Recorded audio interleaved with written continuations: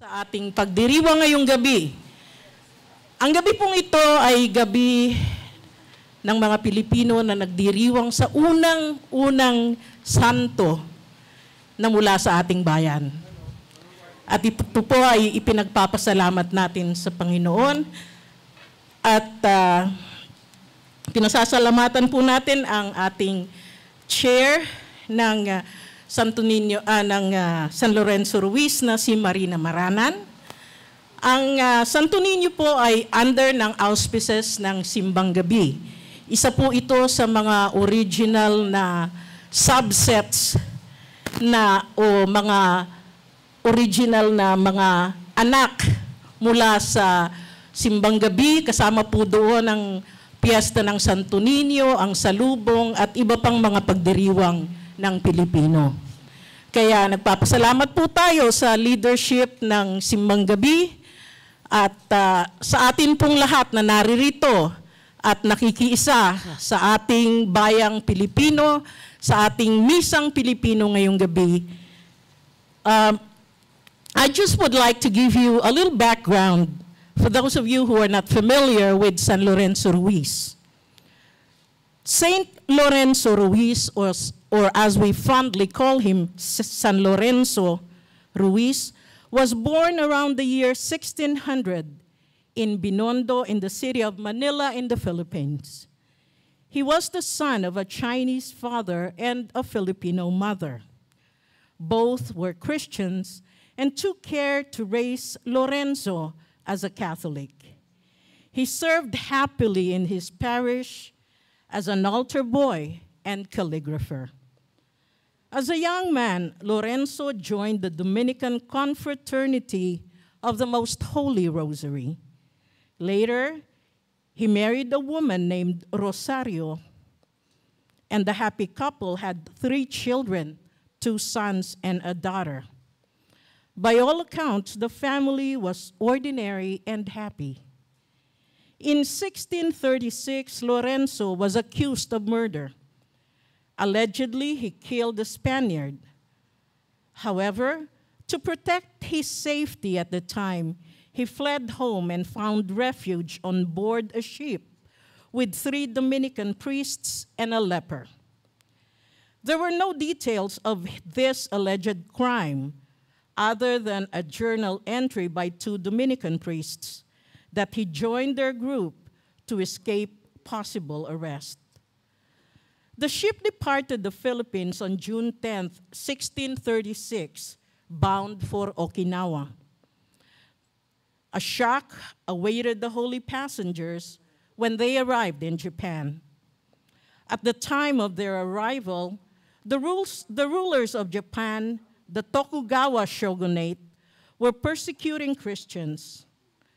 Prior to this persecution, the Christian population of Japan was thought to be number 50,000 souls. Now, Lorenzo was arrested by Japanese officials for the crime of being a Christian and ordered to recant his faith. When he refused, he was imprisoned for two years. On September 27, 1637, Lorenzo and his companions were taken to Nagasaki to be tortured and killed if they would not recant their faith. Lorenzo and his companions were tortured by water, which was forced into their mouths and down their throats and out their noses and ears. Despite the painful torture, the men refused to do so. Following this, Lorenzo was hanged upside down with a rope around his ankles. This method of torture was known as churushi, or gallows and pit. The torture forces a person to be hanged upside down with a gash cut in their forehead to prevent too much blood from gathering in the head. The gash also caused the victim to bleed to death over an extended, extended period of time. Those who have survived the torture have said it is unbearable. On one hand is left one hand is left free so the victim can offer an agreed symbol that will represent their desire to recant their faith. Those few who recant are spared and allowed to live. But few people ever recanted, choosing instead to die for their faith. Lorenzo refused to recant. According to the record of his death, his last words were, I am a Catholic and wholeheartedly do accept death for God. Had I a thousand lives, all this to him I shall offer. Do with me as you please. His traveling companions were all killed, steadfast until the end. Lorenzo was beatified by Pope John Paul II on February 18, 1981. The beatification ceremony was held in the Philippines, making it the first beatification ceremony ever held outside the Vatican. A miracle attributed to his intercession occurred in 1983. A two year old girl, Alegria Policarpio, suffered from hydrocephaly, a condition she had since birth. She was miraculously cured.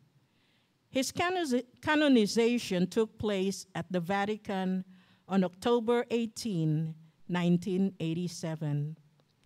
Saint Lorenzo Ruiz is the patron saint of Filipino youth, the Philippines, people working overseas, and altar servers.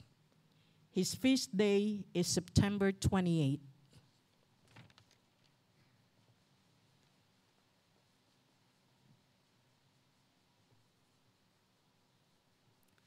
Panalangin para kay San Lorenzo at mga kasama. Amang mapagmahal, ang iyong anak na, na si Heso Kristo ay naghandog ng kanyang buhay para sa kaligtasan ng sanlibutan. Kasihan kami ng iyong pag-ibig upang maihandog ang aming buhay para sa iyo at sa aming kapwa-tao. Inakay rin ng mapagpaba, mapagpala mong kamay ang iyong mga lingkod na sina San Lorenzo Ruiz at mga kasama sa lupain ng Hapon upang tularan ang sakripisyo ni Kristo at ipamansag ang mabuting balita ng kaligtasan. Isinasamo namin na sa pamamagitan ng panalangin ng mga banal na martir na kami maging matatag sa pananampalataya tulad nila at maging kasangkapan ng pagpapahayag ng mabuting balita sa aming bayan at sa mga bansang nasa paligid namin. Dinggin mo ang aming kahilingan at ang mga biyayang aming hinihingi. Kaisa ni San Lorenzo Ruiz at mga kasamang banal, Hinihiling namin ito sa pamamagitan ni Heso Kristo na aming Panginoon. Amen.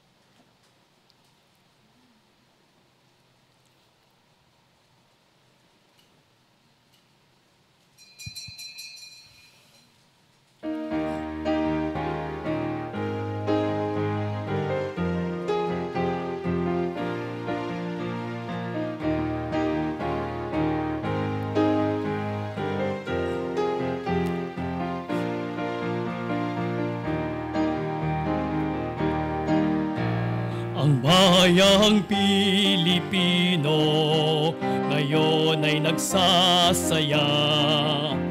Isang sugo sa langit Tayo ay mayroon na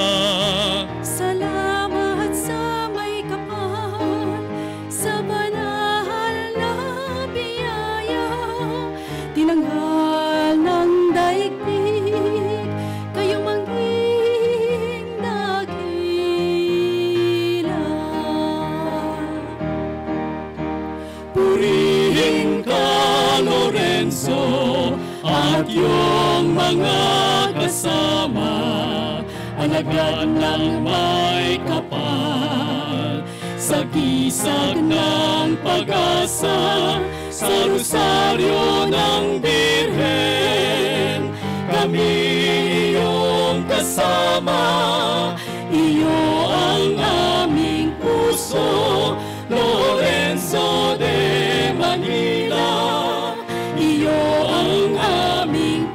puso, Lorenzo de Manila.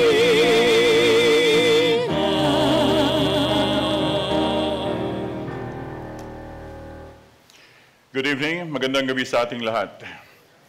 Umpisa natin banal na pagdiriwang ng misa sa ngalan ng Ama at ng Anak at ng Espiritu Santo. Sumayin ang Panginoon.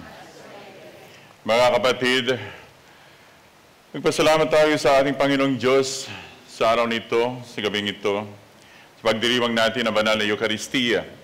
As we celebrate this 26th Sunday in ordinary time, and we integrate this celebration of the feast of San Lorenzo Ruiz. And we thank God for the gift of our saint, and uh, may our saint continue to inspire us to follow our Lord Jesus, even to the point of giving up our lives and ourselves. As we prepare ourselves for this celebrations, we acknowledge the faults in our sins, we ask the Lord for mercy and forgiveness. I confess to Almighty God and to you, my brothers and sisters, that I have gravely sinned in my thoughts and in my in what I have done, in what I failed to do, through my fault, through my fault, through my most grievous fault. Therefore I ask Blessed Mary, ever Virgin, all the angels and saints, and you, my brothers and sisters, to pray for me to the Lord our God. May Almighty God have mercy on us, forgive us our sins, and bring us to everlasting life.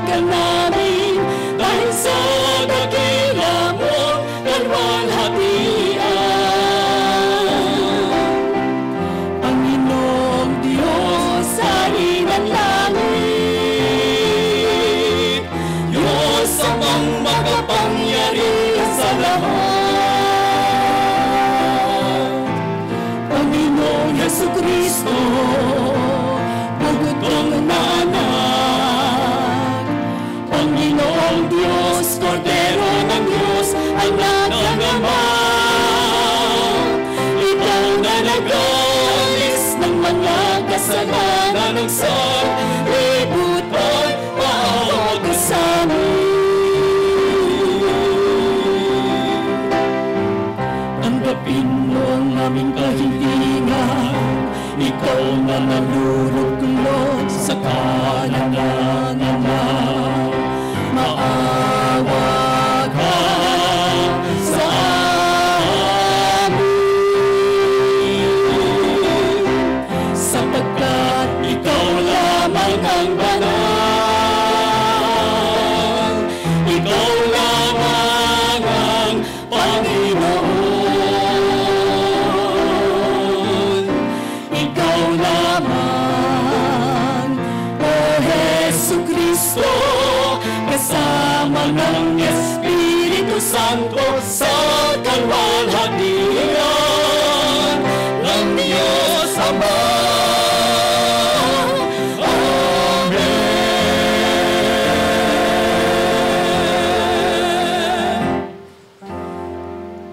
Manalangin tayo. Ama naming makapangyarihan, ang iyong pinakadakilang magagawa ay magpatawad, at ang iyong laging ipinakikita ay pagkahabag. Padaluyin mo sa aming walang humpay ang kagandahang loob mong sa aming inilaan, upang sa pagkakamit namin sa pangako mong bigay, kami gawin mong kasalo sa ikipagkakalob mo sa kalangitan. Sa pamamagitan ni Kristo kasama ng Espiritu Santo, magpasawalang hanggan. Amen.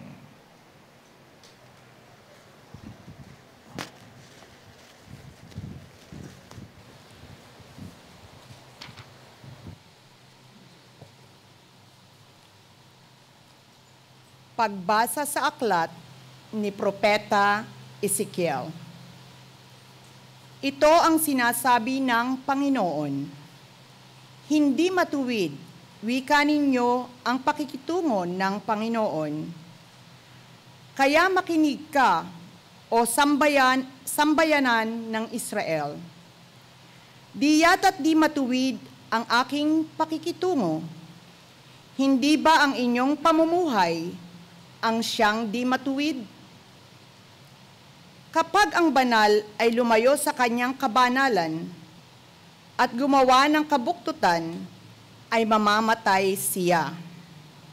Mamamatay siya dahil sa kabuluktutang ginawa niya.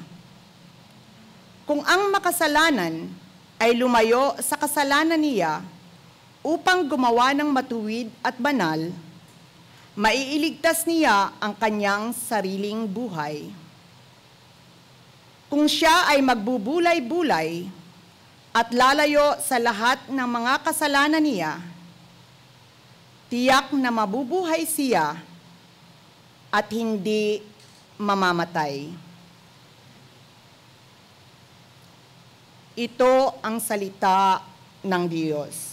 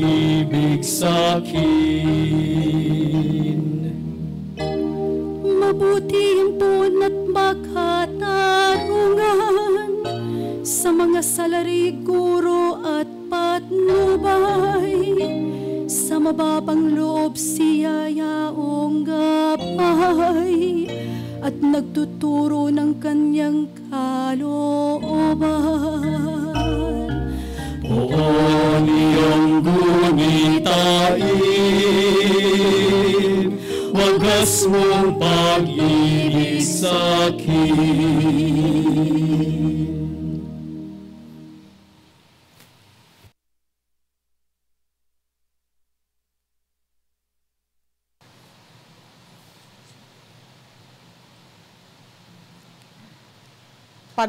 sa sulat ni San Pablo Apostol sa mga taga Pilipos.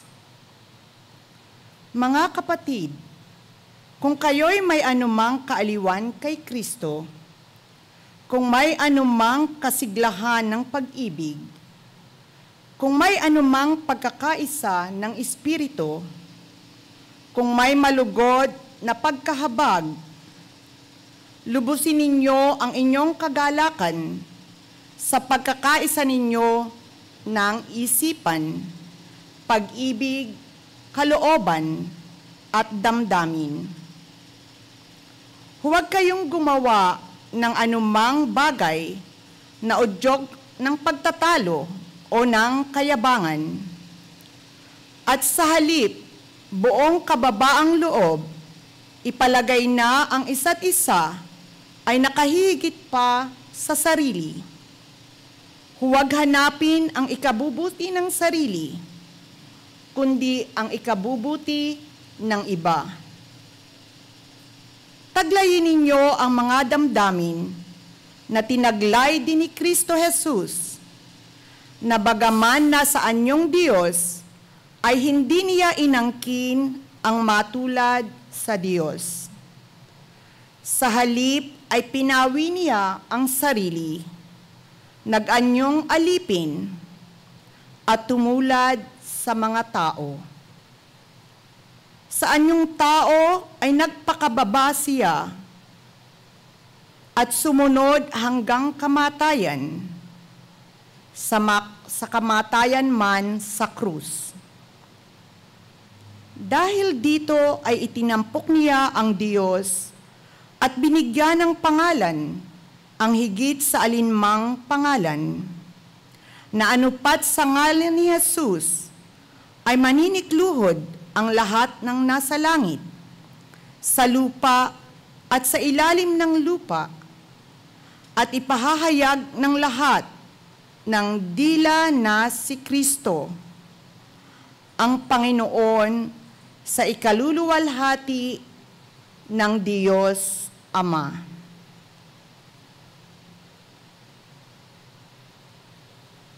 Ang salita ng Diyos.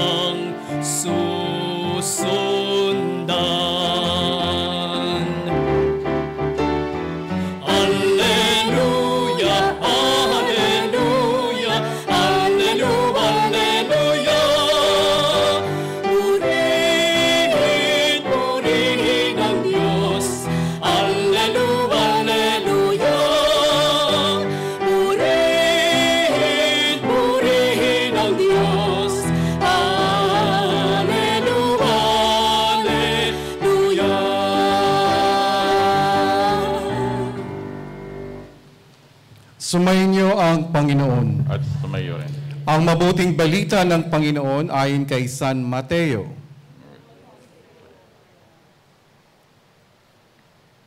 Noong panahong iyon, sinabi ni Jesus sa mga punong saserdote at mga matatanda ng bayan, Ano ang palagay ninyo rito? May isang tao na may dalawang anak na lalaki. Lumapit siya sa nakatanda at sinabi, Anak, lumabas ka at magtrabaho sa ubasan ngayon. Ayoko po, tugon niya. Ngunit nagbago ang kanyang isip at siya'y naparoon. Lumapit din ang ama sa ikalawa at gayon din ang kanyang sinabi, Opo, tugon nito. Ngunit hindi naman naparoon. Sino sa dalawa ang sumunod sa kalooban ng kanyang ama? Ang nakatatanda po, sagot nila. Sinabi sa kanila ni Jesus, Sinasabi ko sa inyo, ang mga publikano at masasamang babae na uuna pa sa inyong pasako sa paghahari ng Diyos. Sapagkat naparito sa inyo si Juan at ipinakilala ang matuwid na pamumuhay at hindi ninyo siya pinaniwalaan. Ngunit pinaniwalaan siya ng mga publikano at ng mga masasamang babae. Nakita ninyo ito, subalit hindi pa rin kayo nagsisi at naniwala sa Kanya. Ang mabuting balita ng Panginoon. Pinupuri ka namin, Panginoong Yesu Kristo.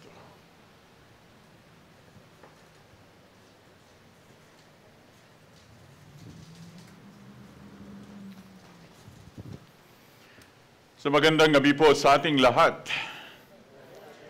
So kanina po habang ah, nagsasayaw ating mga liturgical dancers, sinasayaw nila si San Lorenzo. Dapat po siya ay nakatayo dito. Kaya sa sobrang pagkahilo ni San Lorenzo, dinala doon, kaya pinalitan siya ng kanyang kuya. Kaya mas malaki ito ngayon nandirito sa ating harapan ngayon. Sa mga kapatid, pinararangalan natin ang ating ah, santo, ang banal na santo, our saint uh, first Filipino saint, proto-martyr, Saint Lorenzo Ruiz.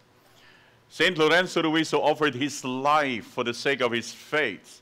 Saint Lorenzo Ruiz who, um, at the brink of death, at the point of death, even when death was imminent because of the tortures and uh, and the per- execution, remained steadfast in his faith. And we can say that he was obedient unto death, obedient to the will of God, obedient to Christ as a follower up to the point of death. And we recall what St. Paul in, the, in his letter to the Philippians today was saying, Jesus humbled himself. He did not deem equality with God something to be grasped but rather he emptied himself, became like us. And then he will offer his life to the he humbled himself up to the point of offering himself to death, dying for us.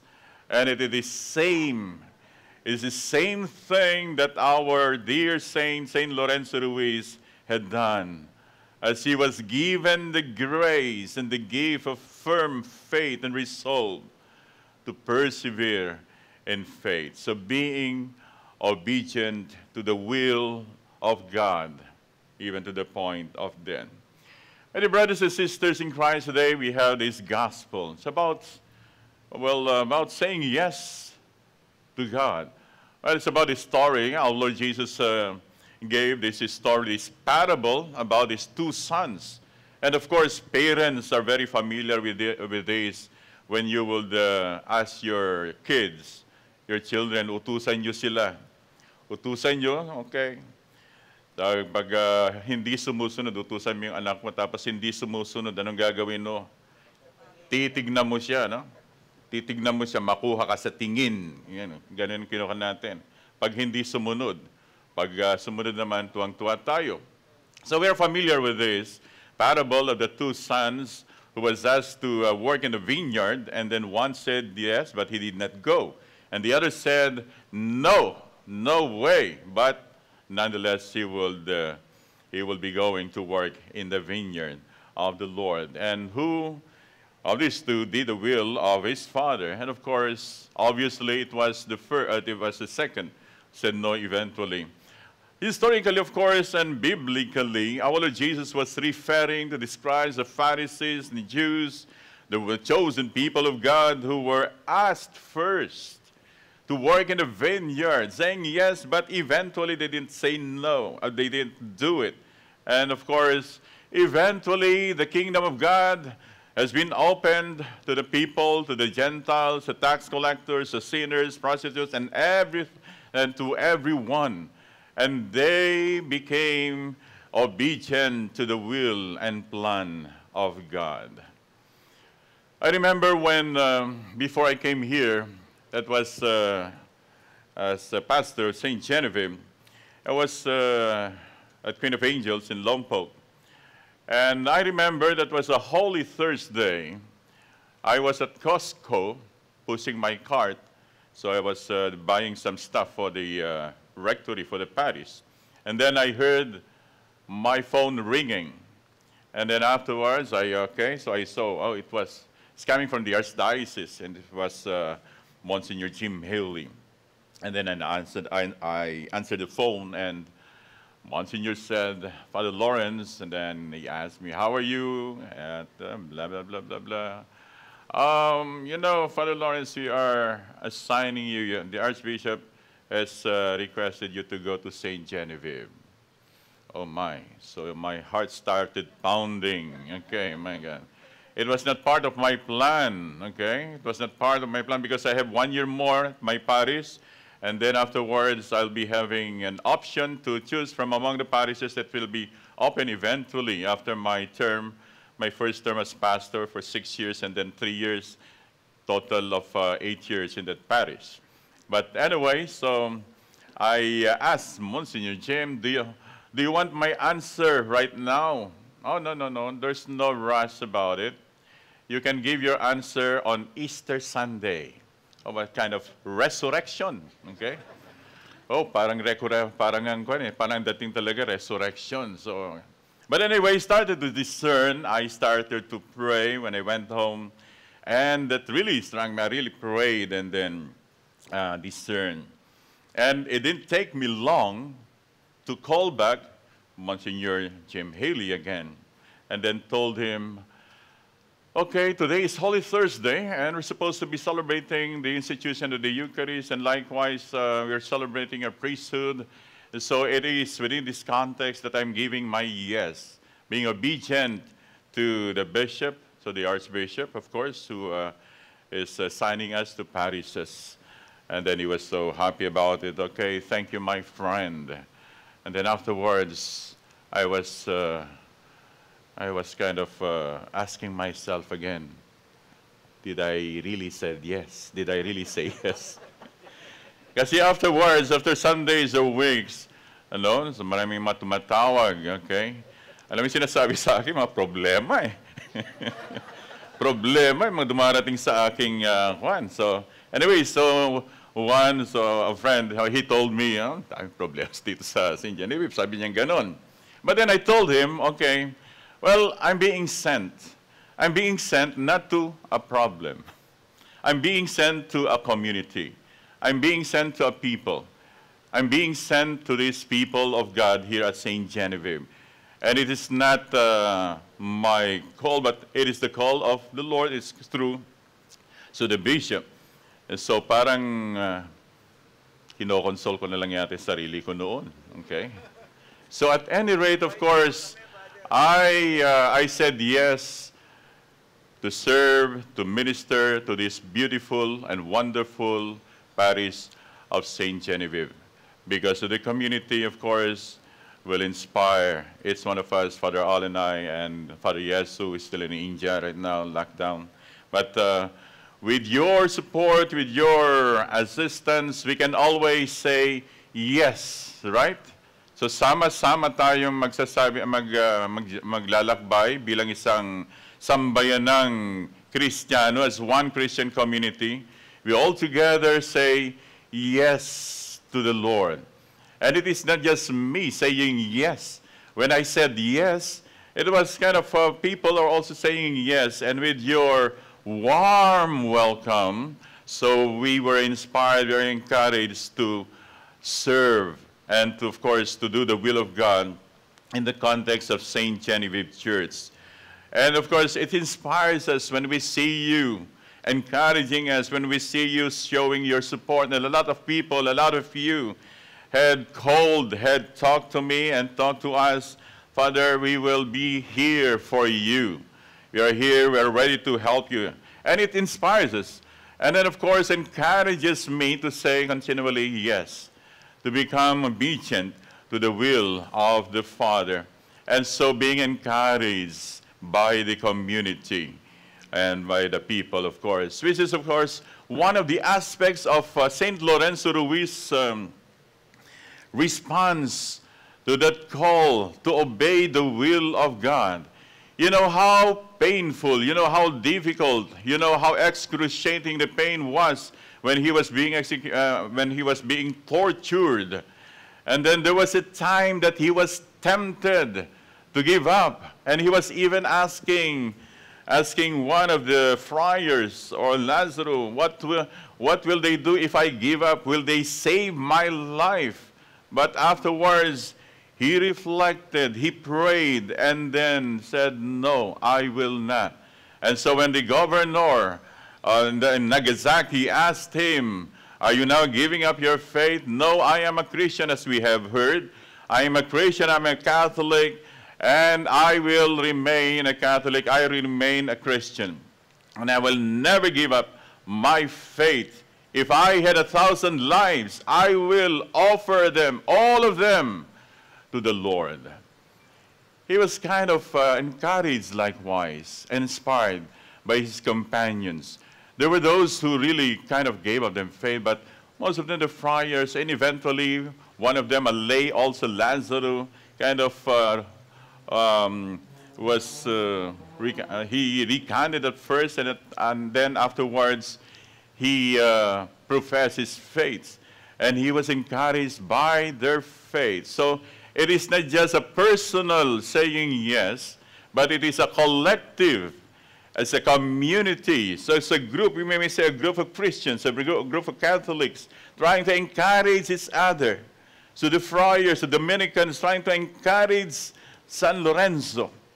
And eventually himself will make his ultimate yes to God, an ultimate option to say yes to the Lord, saying, Yes, I am a Christian and I will remain a Christian.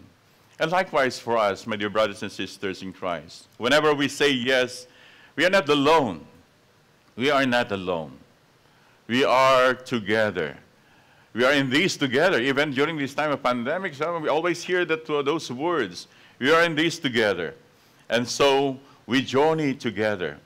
And our faith, our example, how we live our faith can inspire each one of us. Our faith and how we live our discipleship can encourage each one as we go on, listening, submitting our will to God, and following Him. Because obedience, when we try to look into this uh, word obedience, comes from the, from the word obidere, Latin word, which means listen. To listen. And so being obedient to the will of God is to listen to Him. And we can only listen to God in prayer. We can only listen His words if we are in prayer, if we are in the silence of our hearts, we'll listen to His word, whatever His will and plan for us. And likewise, obedience means um, surrendering, submitting, or being a subject to.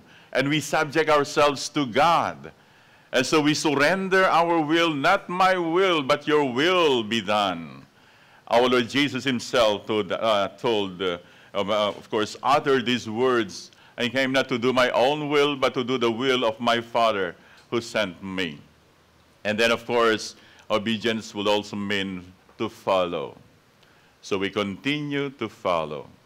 And this is what St. Lorenzo Ruiz showed us, even to the point of death, being obedient unto death, offering his life. And so may we be able to emulate the example of St. Lorenzo Ruiz. And may we, and we pray for that grace that we may be obedient to the will of God, saying yes. Like Mary, our Blessed Mother, saying in her fiat, let it be done according to thy word. And so we say yes, then we mean our yes. Yes to the will and plan of God. And so we pray, Saint Lorenzo Ruiz, pray for us. Amen.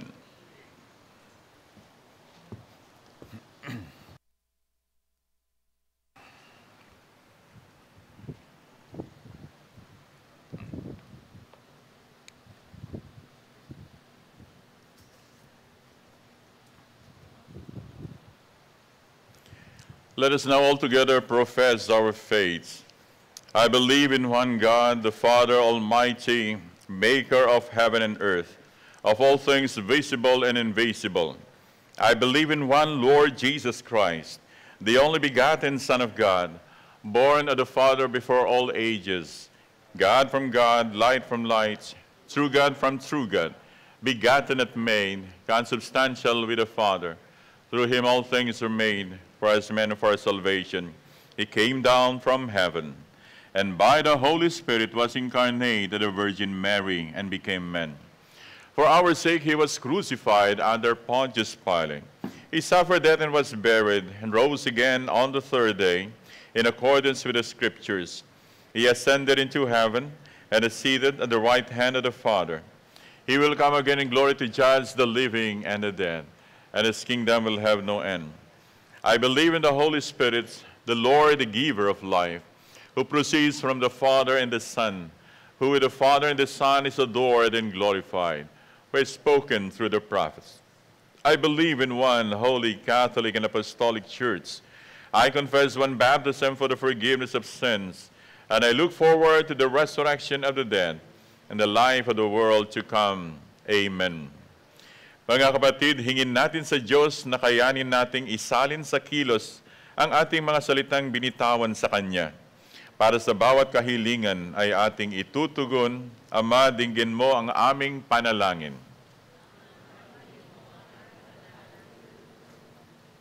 para sa mga namumuno sa simbahan upang masaip, maisabuhay nila ang kanilang mga panata sa Diyos na kanilang binitiwan sa araw na naitalaga sila sa paglilingkod sa bayan ng Diyos.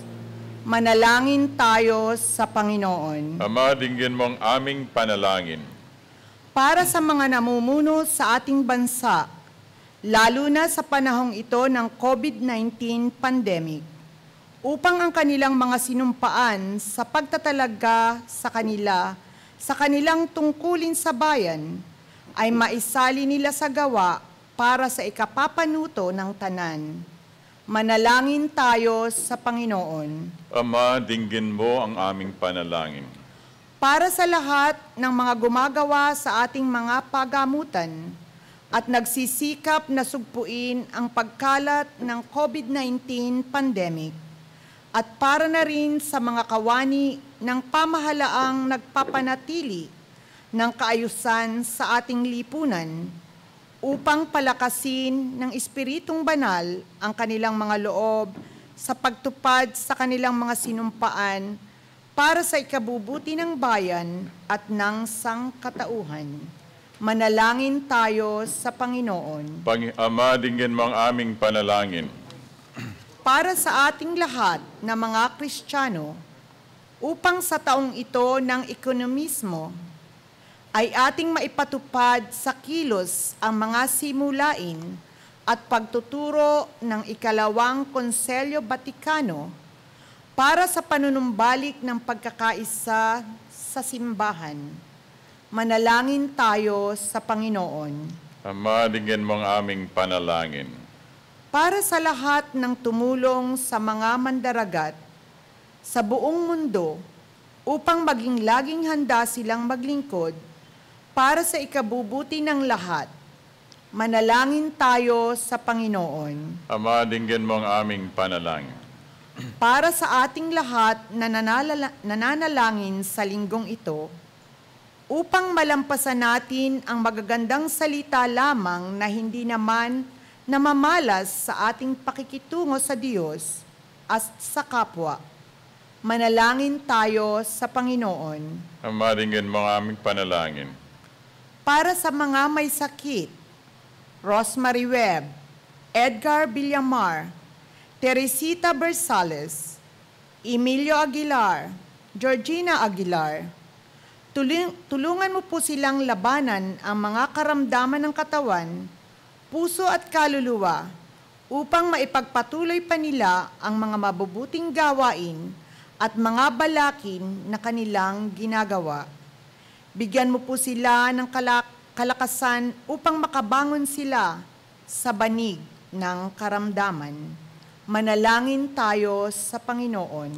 Ama, dinggin mo ang aming panalangin. Para sa mga yumao, Lourdes de Guzman, Eddie Mendoza Jr., Richard Bosco Pinaranda, Lydia Aguinaldo, Pinaranda Osario, and Estilita and Ananais Reyes. Pagpalain nawa sila ng Panginoon at ingatan. Paliwanagin nawa ng Panginoon ang kanilang mukha at pagkalooban siya, sila ng kapayapaang walang hanggan. Manalangin tayo sa Panginoon. Ama, dinggin mo ang aming panalangin. Pagdasal po natin ang ating mga sariling intention.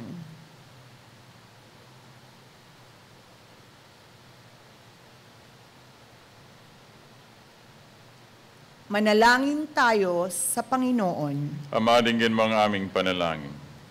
Panginoon, dinggin mo ang aming mga panalangin kaysa ni San Lorenzo Ruiz mga kasama. Inihiling namin ito sa pamamagitan ni Kristo na aming Panginoon. Amen.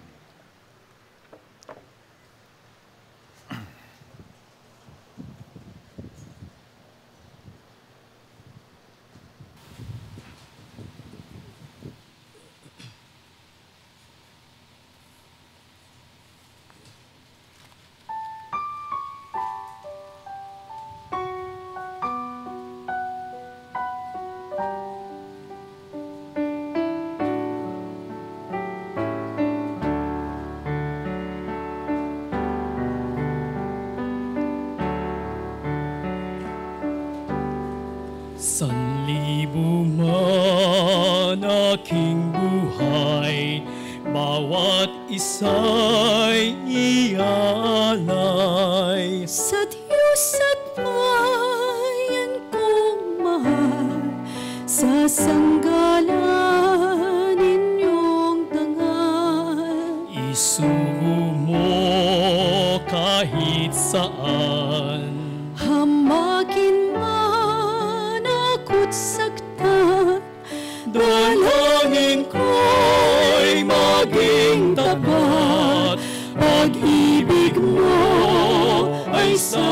upon.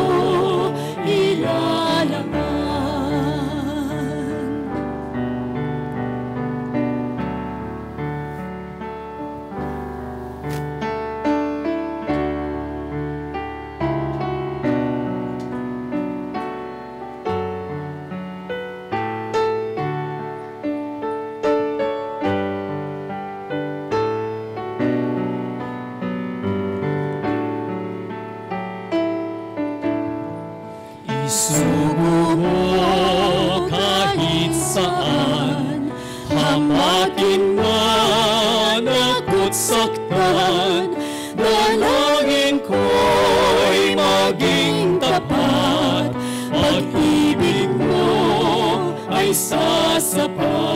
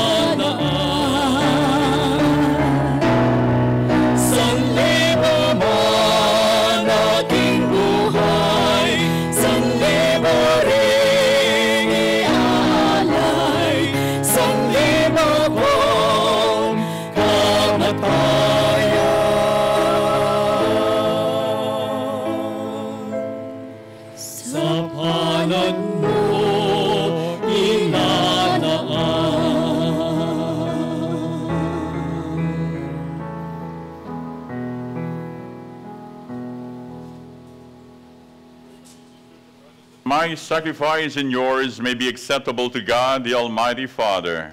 Amen.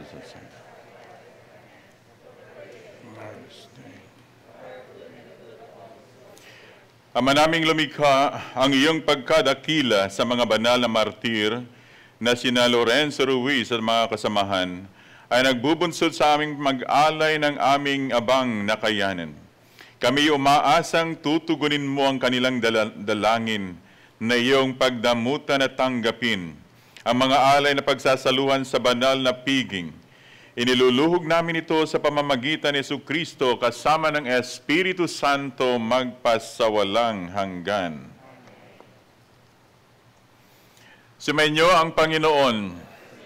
Itaas sa Diyos sa inyong puso at diwa. Pasalamatan natin ang ating Panginoong Diyos. Marapat naming makap- ama naming makapangyarihan, tunay nga marapat na ikaw ay aming pasalamatan ngayong aming kagalakan na, na si San Lorenzo ay parangalan. Siya ay kapanalig naming may paninindigan na ikaw ay pahayag kahit siya ay mamatay.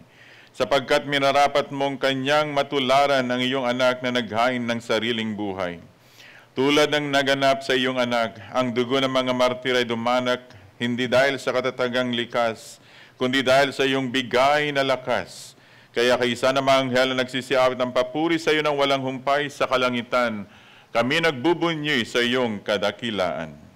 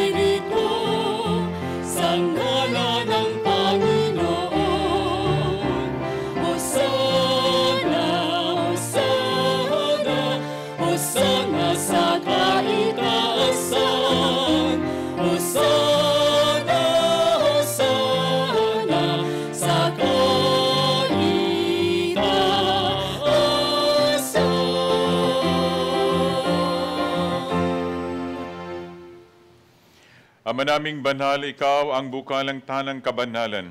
Kaya sa pamamagitan ng Espiritu gawin mong banal ang mga kaloob nito, upang para sa amin maging katawan at dugo ng aming Panginoong Yesu Kristo.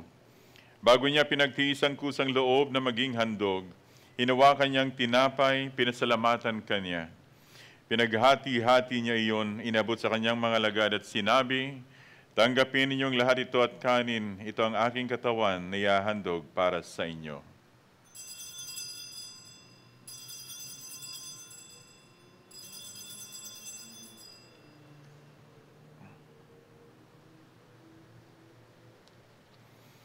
Gayon din naman na matapos ang hapunan, hinawakan niyang kalis, muli kanyang pinasalamatan.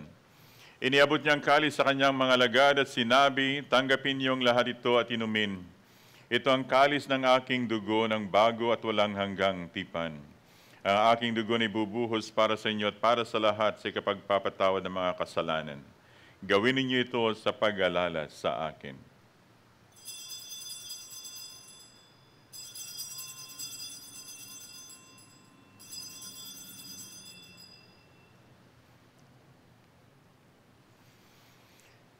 Ipagbunyi natin ang misteryo ng pananampalataya.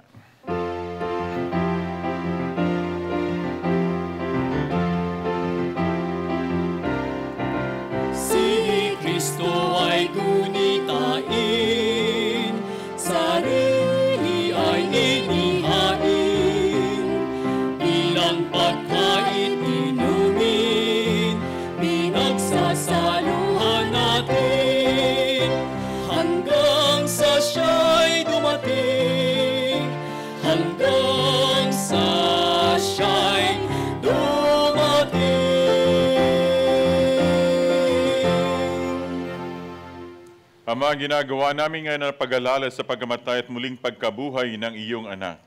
Kaya tiniaalay namin sa iyo ang tinapay na nagbibigay buhay at ang kalis na nagkakaloob ng kaligtasan. Kami nagpapasalamat dahil kami iyong minarapat na tumayo sa harap mo para maglingkod sa iyo.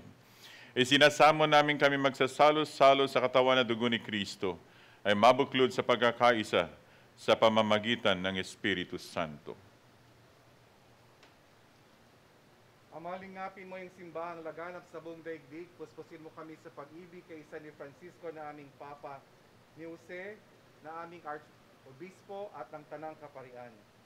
Alalahanin mo rin ang mga kapatid naming naimla na may pag-asang sila'y muling mabubuhay, gayon din na lahat ng mga pumanaw.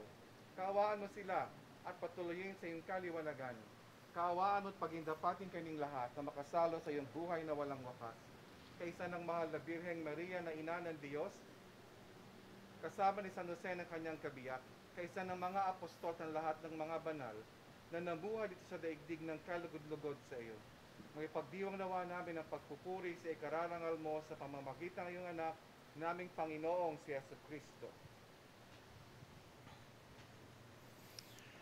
Sa pamamagitan ni Kristo, kasama niya sa Kanya, ang lahat ng parangal at papuri ay sa iyo, Diyos Amang makapangyarihan, kasama ng Espiritu Santo, magpasawalang hanggang.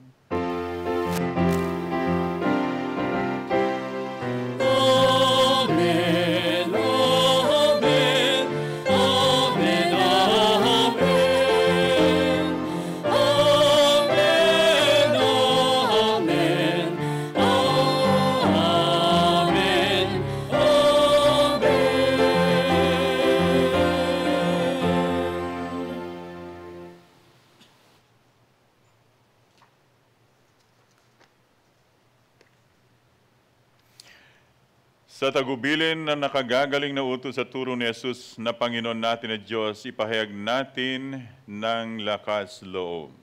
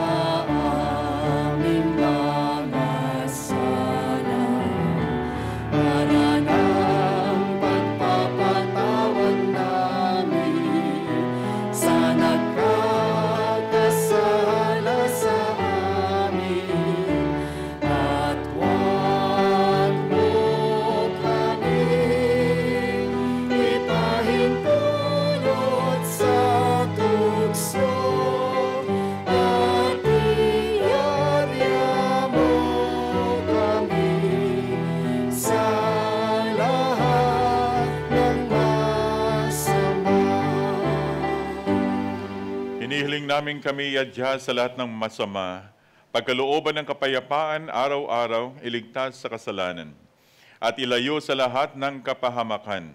Samantalang aming pinananabikan ang dakilang araw ng pagpapahayag ng tagapagligtas naming si Yesu Kristo.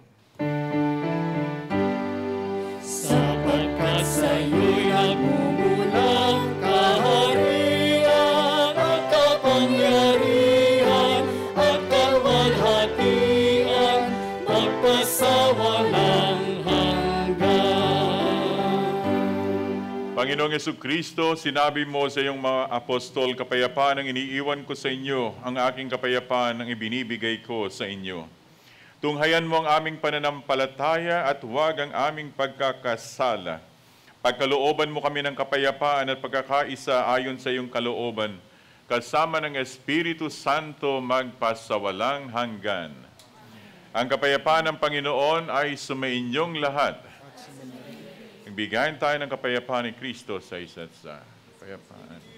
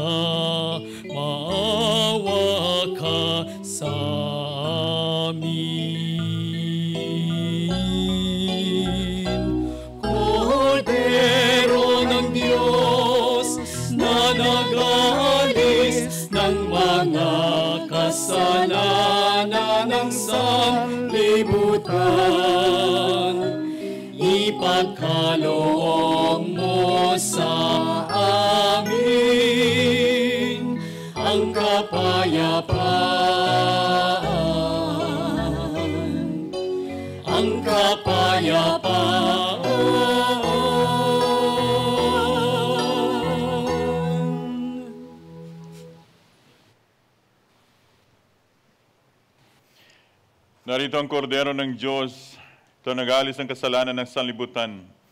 Mapapalad ang mga inanyayahan sa kanyang piging. Panginoon, hindi ako karapat dapat na magpatuloy sa iyo. Ngunit sa isang salita mo lamang gagaling na ako.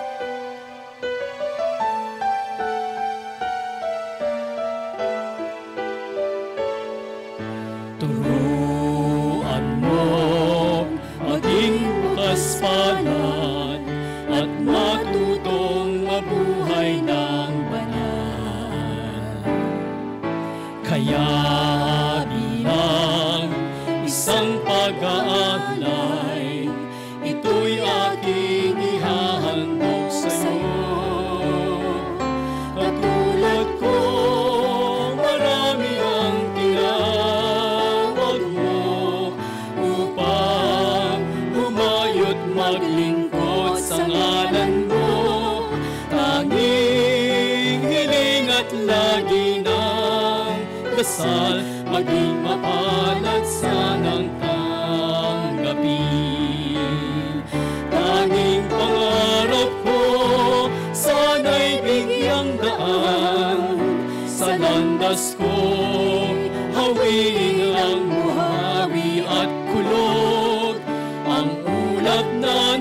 Nagsisilbing dilim sa langit ko. Tunawin at gawin ulan, naan sa buhay kong tigang. Mula sa pagkakasadla, ako'y muling ibang at tumakas umasa kang maglilingkod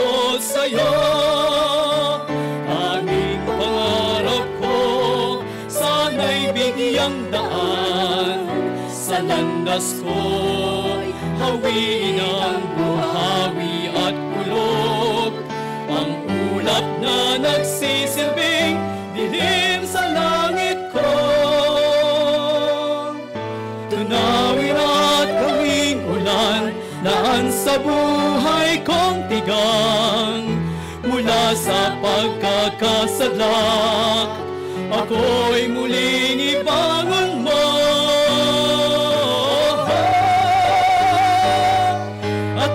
Issachar.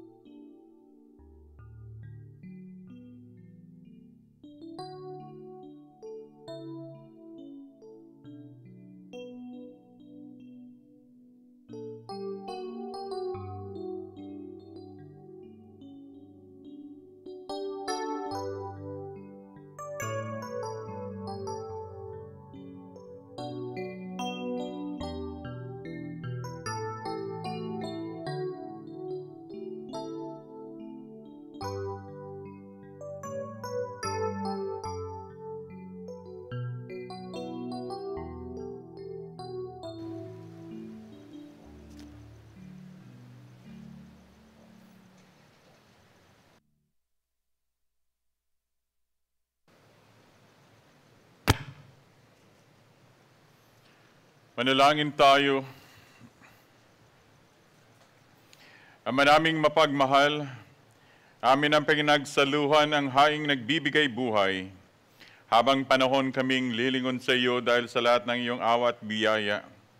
Bilang tugon sa dalangin ng mga banal na martir na sina San Lorenzo Ruiz at mga kasamahan. Malapati mong kami makarating sa kaluwalhatiang inilaan mo sa amin. Iniluluhog namin ito sa pamamagitan ni Yesu Kristo kasama ng Espiritu Santo magpasawalang hanggan. Amen. Amen. Please be seated. Uh, in case sa census ba, meron pang, kuhan, do you still have Papasalam. something to say? Dali lang. Momento. Wala na? Okay. All right, go ahead. Magpapasalamat lamang po tayo sa mga naghandog ng kandila na si Agnes uh, Golingay at si Lita Fabiosa. Sa mga naghandog ng bulaklak, si Rizzy, Revi at Ralton Kanko. Ang nagbigay po ng espesyal na envelope, si Tita Rita Naujan.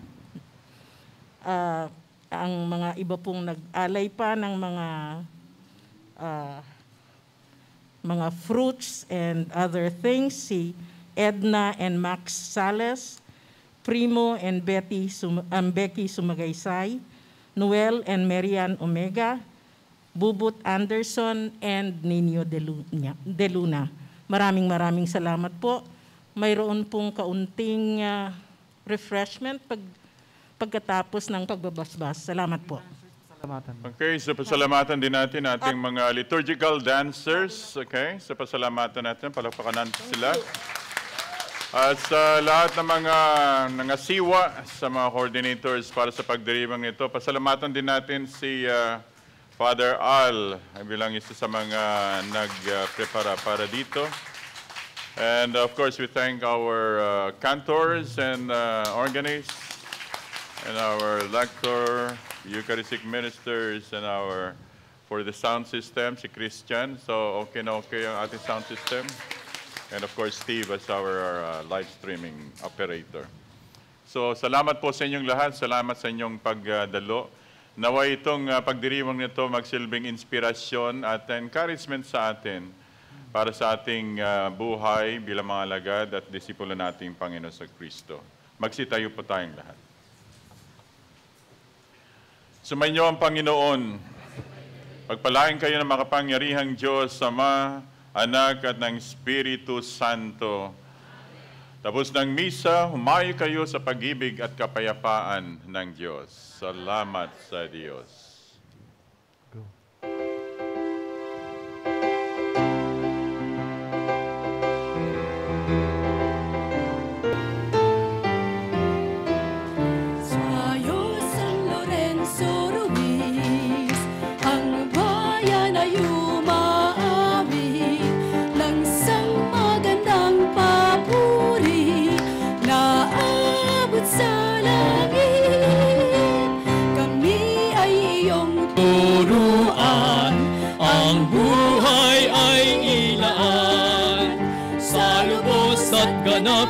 Pagtataya, sa Diyos at Inang Bayan.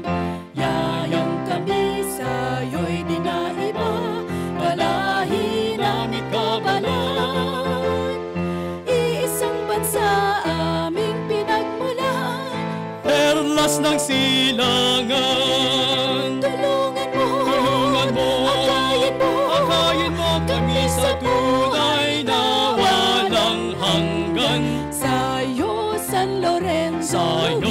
San Lorenzo, ang bayan ay ang bayan ay umaawit umaawit ng isang magandang maabot sa langit. Kami ay iyong turuan, ang buhay ay ilan. Sa lubos at ganap na pagtataya, sa Diyos at Inang Bayan. Bayani, kawan ni Jesus, atas niya'y natupad.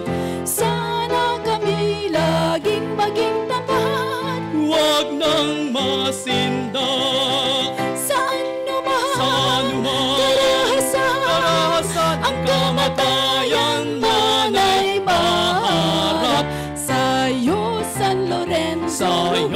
San Lorenzo, Ang bayan ay ang bayan ay umaawit umaawit ng ng isang magandang maabot sa langit. Kami ay iyong turuan, ang buhay ay ilaan. Sa lubos at ganap na pagtataya, sa Diyos at Inang Bayan. Sa lubos at ganap na pagtataya, sa Diyos at Inang Bayan. Viva San Lorenzo! Viva San Lorenzo! Mabuhay ang St. Genevieve! Mabuhay tayong lahat!